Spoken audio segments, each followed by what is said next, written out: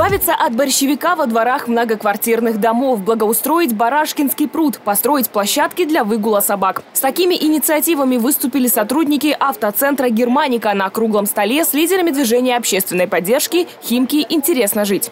Теперь они вновь пригласили активистов, чтобы узнать, как обстоят дела с реализацией выдвинутых ранее инициатив. На встречу были приглашены лидеры движения Николай Томашов, Галина Болотова, Надежда Смирнова, Сергей Малиновский и Николай Кашников. Вторая встреча по счету сегодня прошла.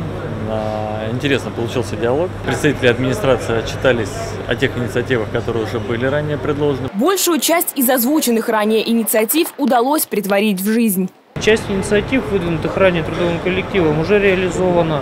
А, остальная часть находится в процессе реализации.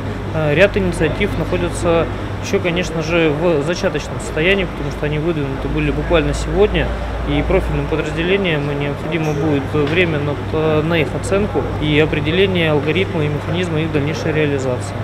Сотрудники автоцентра выступили с новыми инициативами, предложив организовать спортивный досуг, а также поддержали предложение благоустройства парка «Эко-берег». Призываю жителей городского округа заходить на сайт и поддерживать эту инициативу, потому что парк в городском округе Химки, э, ну, им может воспользоваться каждый, приехать, погулять, э, провести там время с детьми.